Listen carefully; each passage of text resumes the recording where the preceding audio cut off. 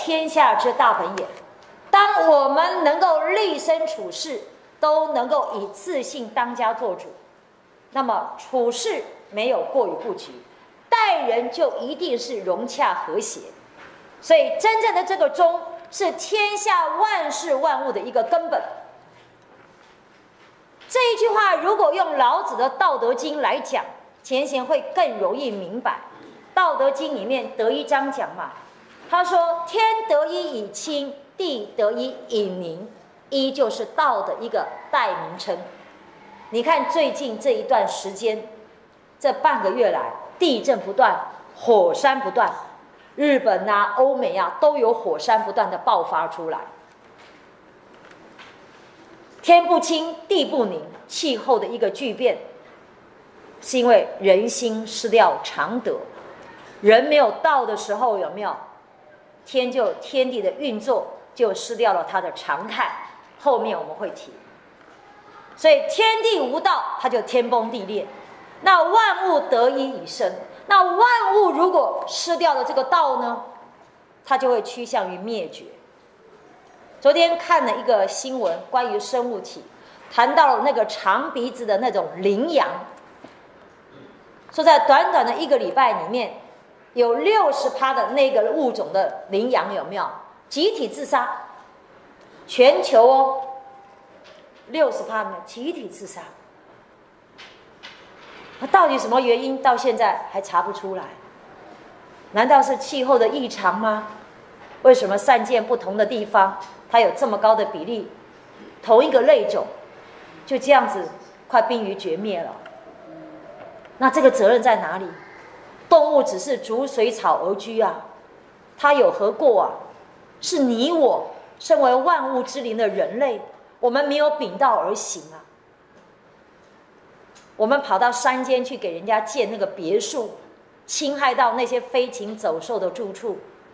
我们恶意的破坏环境，人家北极熊都没有冰层可以什么可以栖息了，跑到热门的村落里面去找食物了，因为气候的暖化，北极的冰都融掉了嘛，那不是我们造成的吗？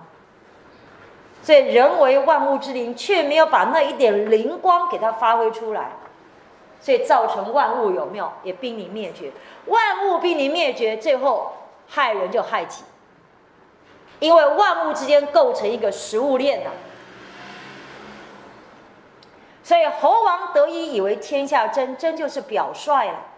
那你在上位者如果有道呢，你就可以做黎民百姓的什么一个模范，可以作为他们取法的对象。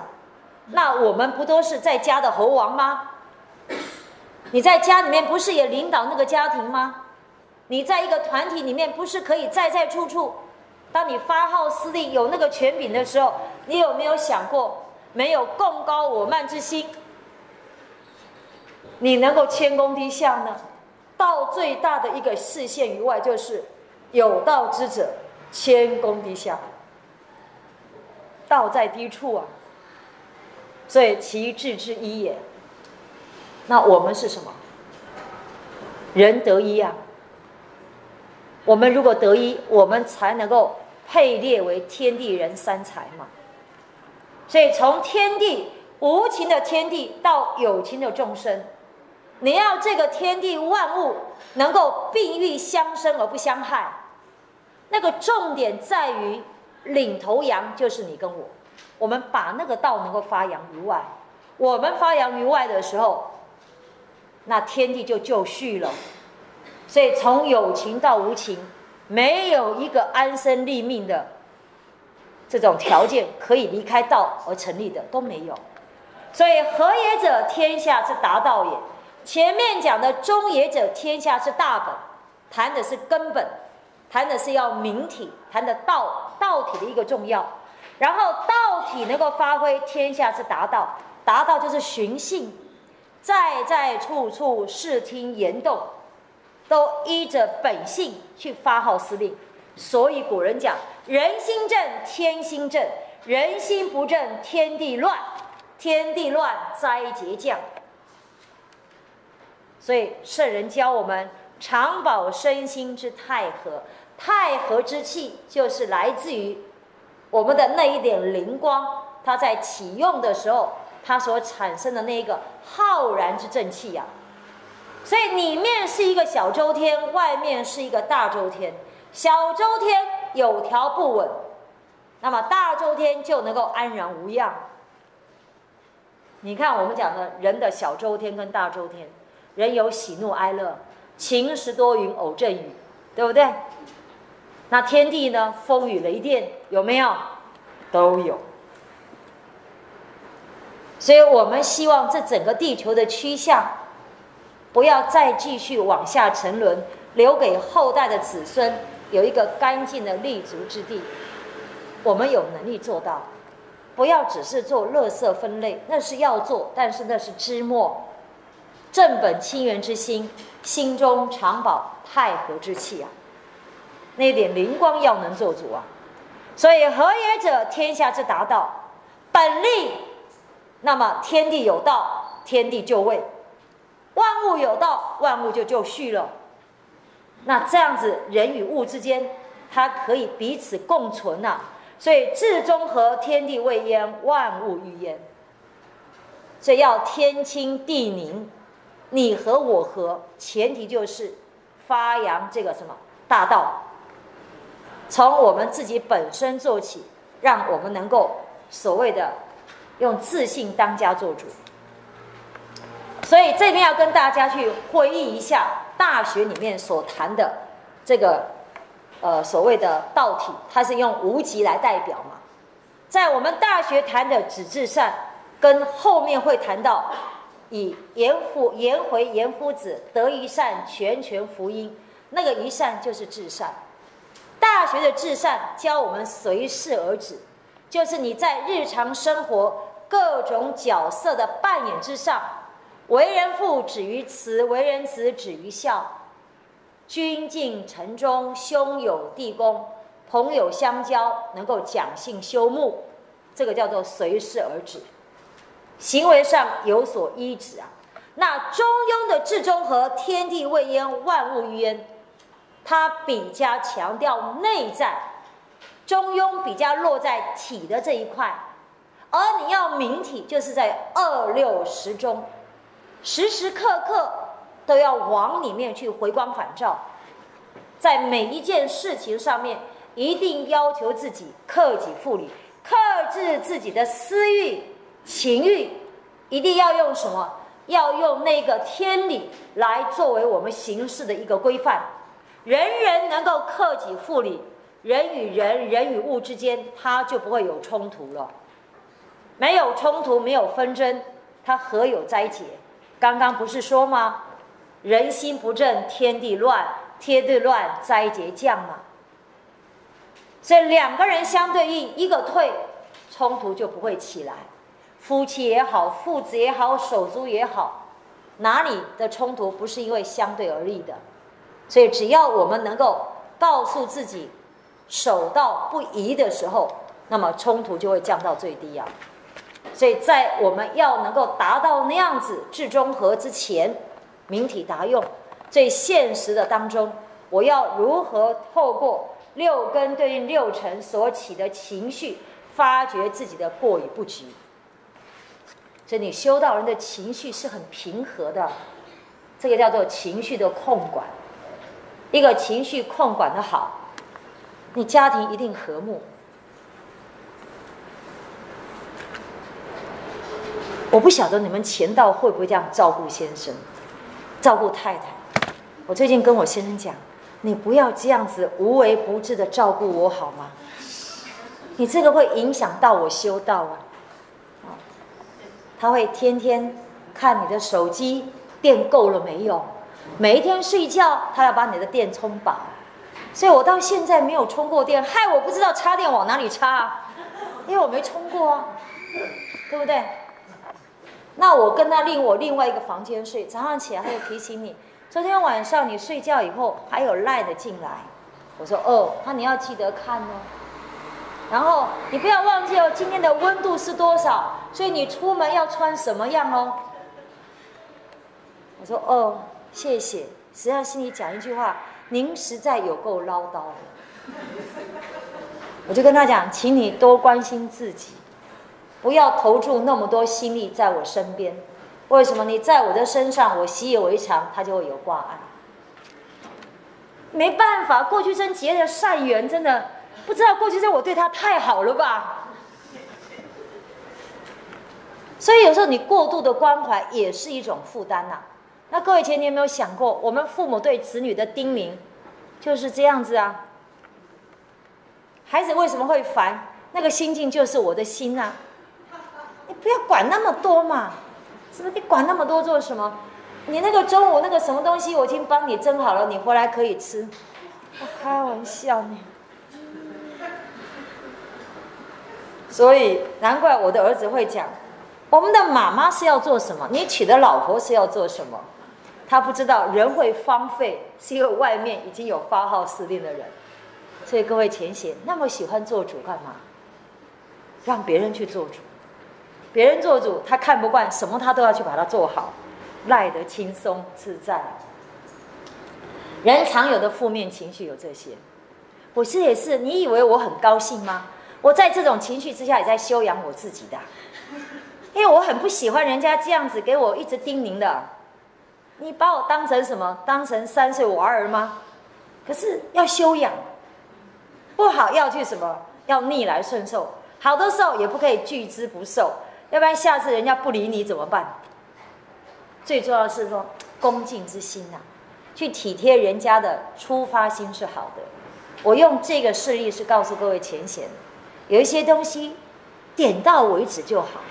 不要说太多，夫妻如此，两代如此，朋友也是如此，就是因为你讲太多了，最后会得到一个结果：好心算好驴筋，有不？好心变成驴肝肺，讲这句话就是你真的很唠叨啦。以前你都怪别人不知道你的好心，我现在就告诉你，站在我的受害者，就是您唠叨过度了啦。理解吗？你怪别人给你的好，你的关怀别人不受，别人给你太多的关怀，你也觉得很累的。尤其是父母对子女，那个叮咛太多，有没有？管束太多，很不自在的。以前我刚去我孩子家，我会看他的地板，因为我都赤脚，在家里赤脚习惯，我一踩有没有？我觉得有一点沙头，就讲你没擦地，对不对？妈我用吸尘器，我说你不知道灰尘是吸不掉的吗？你妈妈已经习惯两个脚要赤裸裸的站在地上吸地气来维持身体健康。他心里一定在想：好在您没有常来。后来我第二次再过去的时候，我就发觉那个地板很光洁，我就知道了。为什么？因为他已经不想听到相同的话，所以昨天打扫。没事，你要问他，我要过去吗？他不用，不用，因为你不用，他可以维持猪窝原状，乐做小猪啊！我就懂得放下，对不对？你觉得脏，觉得脏就把袜子穿上，回来丢到洗衣机，也不要自己累。哦，我现在很能适应啊，太能适应。以前看到冰箱话什么都没有，没有有没有，就去买。现在空空好啊，你也省得花钱呐，是不是？你看不惯就是要出钱要出力，懂了吗？放下吗？放下万事 OK，他 OK 你也 OK 啊。后回去儿子问后轩：“妈，你几点起床？”我说：“你妈都五点多，那我要配合你那个时间起床吗？”我说不用，你睡到你该醒的时候起来。那请问明天早上你要吃什么？现在要帮你准备好吗？我说不用，明天早上你妈妈自己准备。可见平常给他压力太大，我才知道，透过我先生，我看到我自己。你现在理解了吧？我讲在每一个人跟人、人跟事对应的时候，看到你自己的意思在哪里。我的家丑都告诉你们了。那我们人最常见的负面情绪有这些种：生气，这个情绪都不要详细解释啊。你们自己一览无遗嘛，对不对？我念一遍你就知道。因为老人家后面看不见，遇到不顺心的事情就生气，脾气暴躁，久而久之，别人就避之唯恐不及，不想跟你接触啊。一个爱生气的人，就如同将自己的自主权交到对方手上，让别人做我们的主人。后学曾经讲过。踩到狗屎生气，狗屎就是你的主人，主人才能发号施令嘛。我叫你往东，你不敢往西嘛。别人讲一句话，你生气，那个让你生气的人就是你的主人。所以我们天天高喊“不自由勿宁死”，结果天天甘心做奴才。外面看到一件衣服好漂亮，没有买到就盈盈挂怀，回到家里。朝思暮想，那件衣服破衣服就是你的主人，你做物质的奴隶。看到一个好吃的没有吃到，也是在那边忘不掉，那个东西就是你的主人。何其轻贱我们的自信！自信本不与万物为侣，无一物可以影响到这个自信的。而我们现在把这些阿里不扎的事情全部放到这个什么？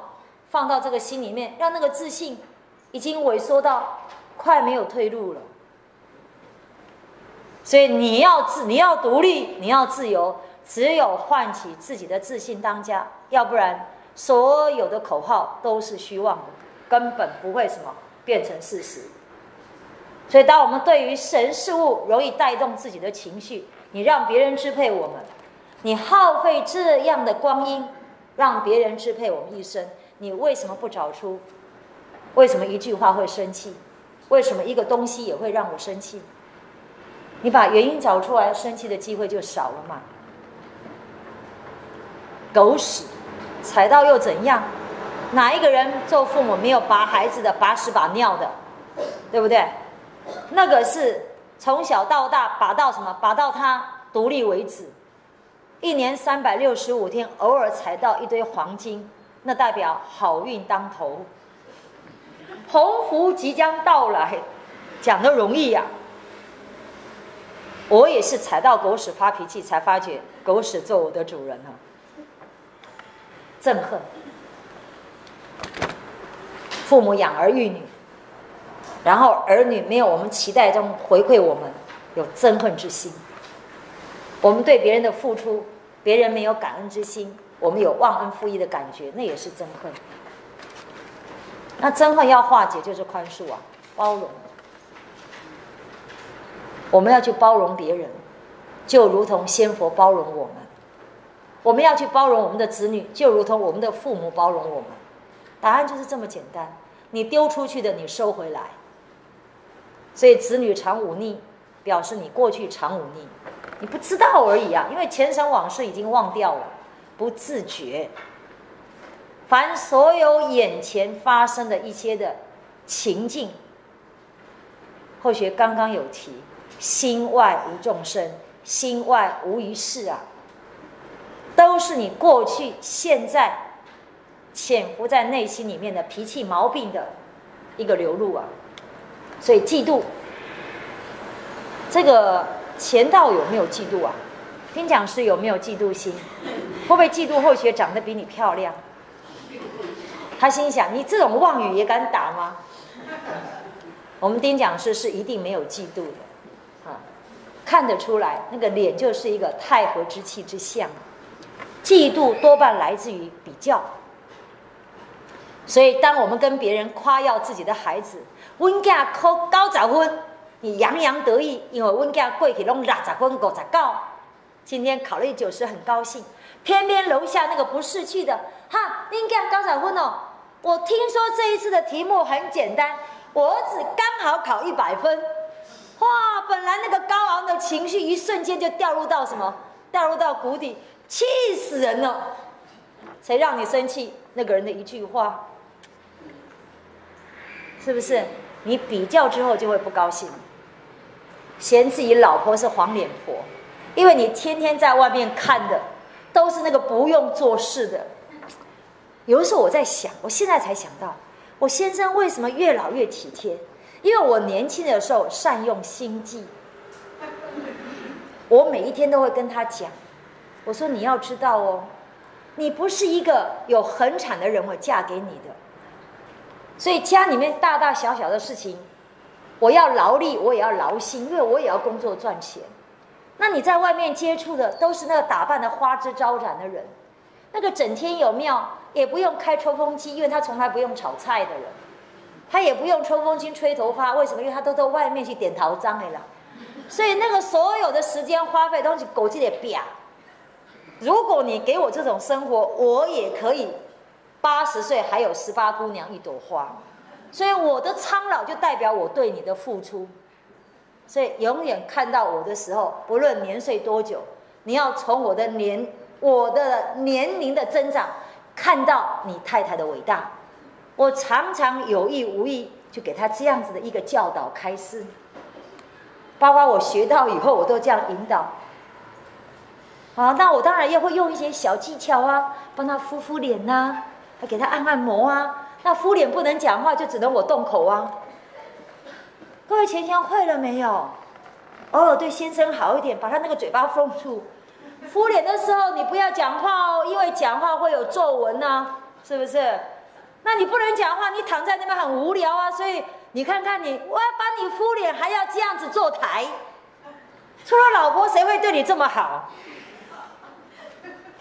不要以为我开玩笑，我就是这样子寻夫的。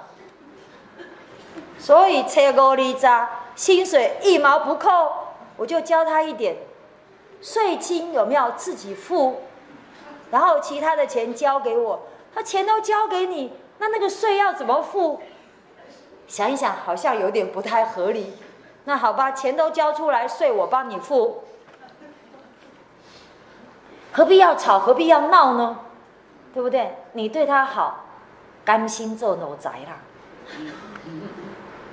我们对人好就好了，你不要做人家的主人，你回过头来去伺候人家，他就愿意让你做主人。所以我从来不担心先生外遇啊，因为有一天他如果嫌我黄脸婆，他就会想到我给他的叮咛，对不对？原来我的苍老就是他的罪过错，所以不要常常去跟人家比较。人有所长，我有所短，这是一定的。我有所长，人有所短，这也是一定的。没有十全十美之事，不需要骄傲，也不需要颓丧。你不要跟人家去比较，人比人会气死，何必要让自己气死呢？只怕气不死，然后气出了癌细胞，要死不死，那多累呀！所以爱护自己，就不要有嫉妒心。担忧，一般人也会这样子。未来没有发生的事情，现在就想东想西。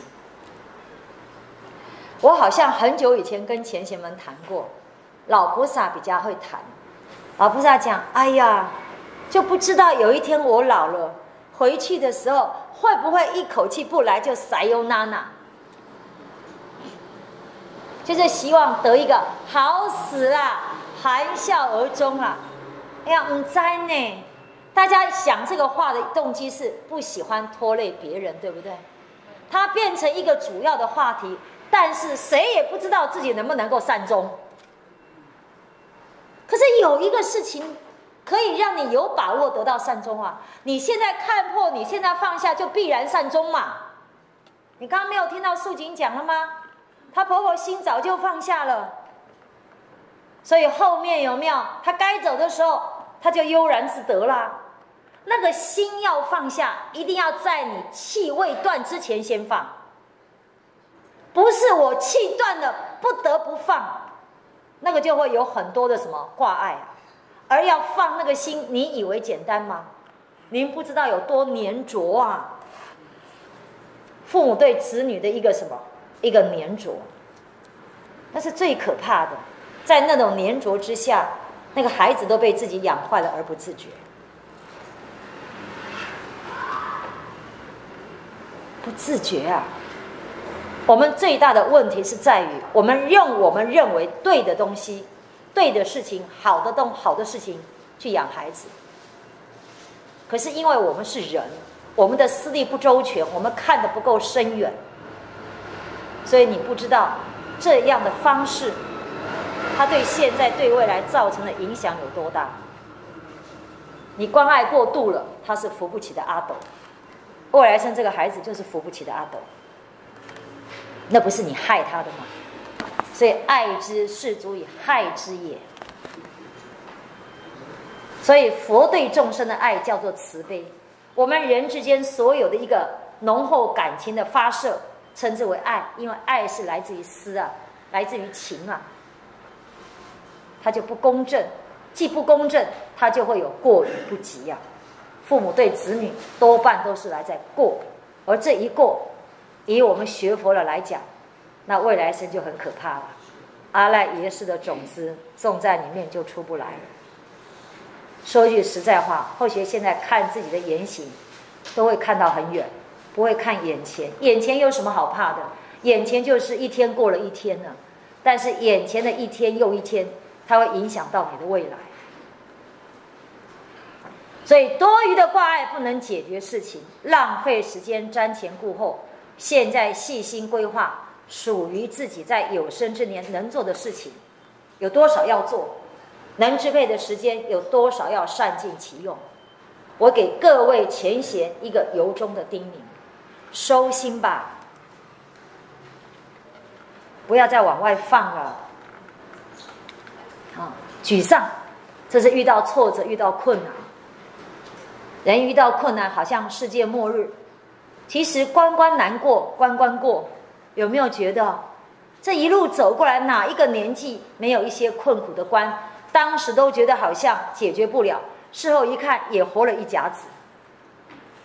念书的时候很讨厌上上数学课，因为上课都要被打，所以希望数学老师快一点离开。那前一阵子去我以前的母校看了一下。走到那个那个所谓的校门外的那个校区的时候，心里感慨良多。想想当年教我的老师，大概早都驾鹤西归了。所以人间没有过不去的关卡。太阳下山，它还会再起来啊！白昼紧随在黑夜之后。所以遇到挫折，多给自己正面的能量，不要让一件不好的事情就把我们彻底给击败。尤其对于学道的人而言，五十成道，四十罪，罪在哪里？罪在道心不能够坚持下去。开始学道有学道的热忱，但是在遇到挫折的时候，就觉得好像没有坚持下去的勇气了。这个就是为什么我们在道场里面看来看去都是这些道亲，因为你们是。有诚心、有恒心、也有毅力的人，你们才能够善始终啊。那没有这三个条件，缺一个条件，你都不会坐在这里，坐的时间不会长，因为这是圣人说的。圣人讲的话，放诸四海而皆准，立千秋而不变啊。